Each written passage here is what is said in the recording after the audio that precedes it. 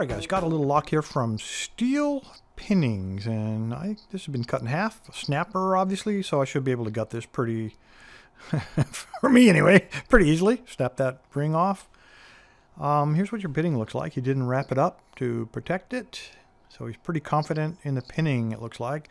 Nice, nice keyway, very paracentric, so I'm going to have to probably tension it well, either top or bottom. And it doesn't really matter, but I can't really use that space on the bottom there. And then pick from the right edge, it looks like. Um, I did put the key in.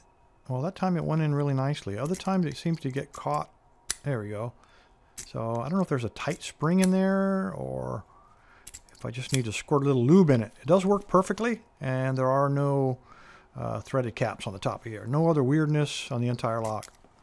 I think we might have a spring in here. So let's go ahead and, now since I have the vise so handy here, not on the other side of the shop, if I can just hold that like that and get that dude. There's no actuator on this thing to worry about, so all I gotta do is make sure that it doesn't pinch uh, the core too tight. All right, I'm gonna use, let me try top of the keyway. See if I can fit that one. Nope. Okay, red doesn't work. Try a white one. Here we go. So I'm using the, I think it's a 1.1.0 millimeter from Mad Bob's. Got a little slop in there. Um, let's try it the easy way. I'm going to take this guy, 15 thousandths, and I think I can work him around the corner and do some raking. All right, let's uh, let's go ahead and put a mark on it steel pinnings. You know it's got some stuff in there. So I'm going to try to pick it clockwise. So let me tension it clockwise to take all the slack out. Put us a mark right here. And that ought to do it. Okay. Light tension up and around the corner. And let's start raking.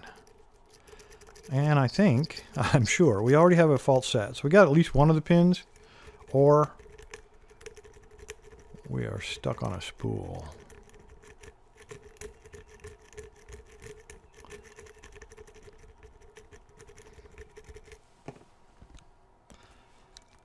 All right, we are stuck on a spool or maybe a T-pin. I really can't tell. Oops, a little too much there, Bill.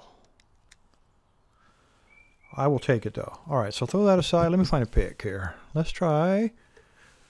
We're going to pick this one or choose this one and see if they can. I ought to be able to go from that ledge on the right. So let's try it. All the way in. And something definitely stuck on the bottom back there. So let's start from the front. Looking for any kind of counter rotation or a click from a T-pin. I've got moderate tension on it. Okay, I'm stuck on pin 4. He's absolutely on the bottom. So I'm going to slide it on the bottom all the way in and then rotate it around to get the hook behind that very low cut. Then I'll start picking from the back, moving forward until I hit that low cut one again. Looking for counter rotation. Get back around him. Nothing. Where'd it go? There's got to be something in there.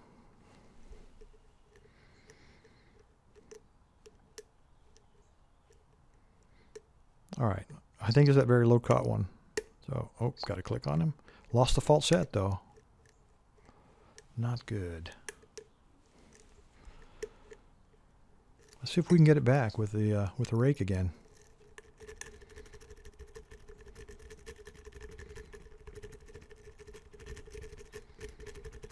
Nope. Not playing with us. Do it the hard way.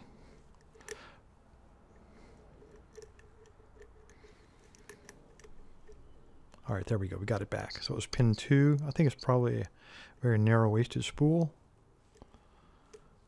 I believe that is counter rotation on one. Oh.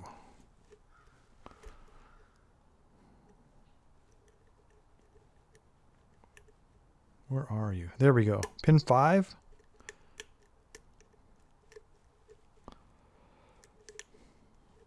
We lost that false set. What in the world?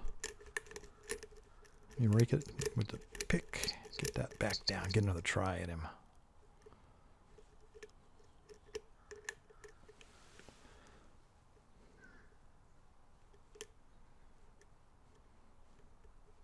There it is. Pin 5. Nice solid counter rotation. Okay, good. Now we got a deep false set, deeper than before. I was trying to bully him. That didn't work out too good for me. So let me baby it. and there we go. All right. Securit baby. Oh, oh, oh. Back out. All right, let's go ahead. We know the key works. Come on. There we go. Beauteous. Let's pull that clip off and see what we got inside. Move this stuff out of here. Hold it with my hand. All right.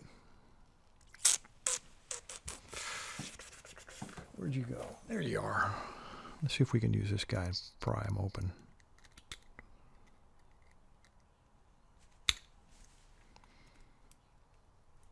Come on.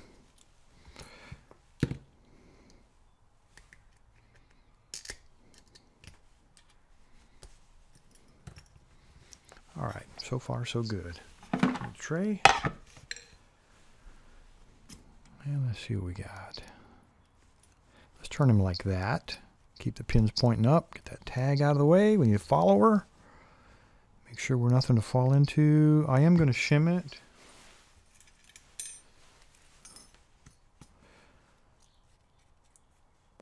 Just in case. Steel pinnings put some nastiness in there. As I'm sure he did. And I don't see it here. Those look like all original pins. Beautiful finish. Exactly the way you'd expect to find them. All the anti-drill pins, the carbide inserts are missing from those four holes. But we don't have to worry about picking those, so it doesn't matter. All right, we have a homemade spool. Same thing. I believe these are homemade. They are very nice. There's another one. A baby. Number four. Homemade spool. Every one of these are spools. And see what we got here. Nothing. Totally stock core. see what we got up there.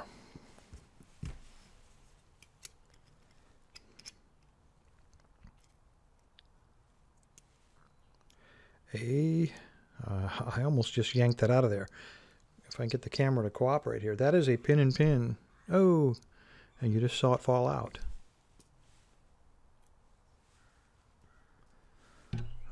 And a double spring. So that little tiny one obviously is for the inner pin. And then the double spring would add additional tension to the outer pin. And let's see what we got here, number two. And I can just see the edge of it there. Come on, camera. So it looks like a T-pin. Come on.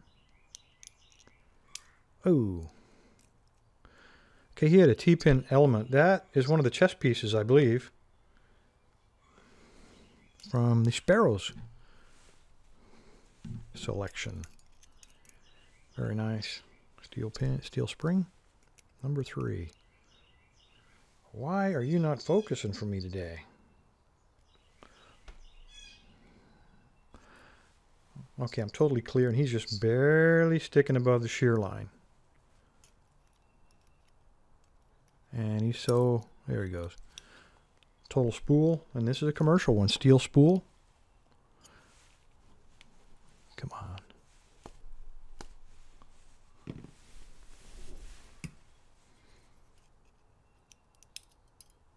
Very light spring.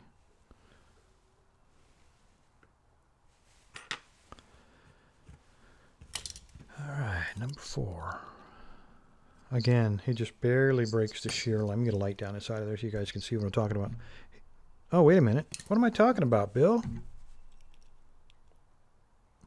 Let me push that follower back in. I forgot to pull the shim out. I didn't see him. He was perfectly flush with the side there. There we go. Now we're in business.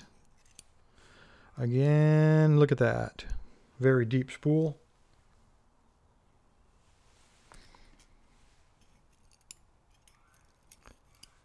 Oh, and different springs. So we got five different spring, or four different springs so far. Five if you count the inner one. All right, let's flip it over. Okay, we have an ASA pin. I believe that is a commercial one.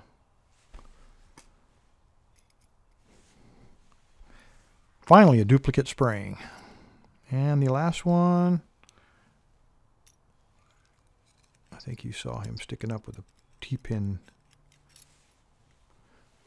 That's not just a straight T-pin. Look at that. It's like a little pagoda with a swollen head on them. Those little serrations in there. Very nice. And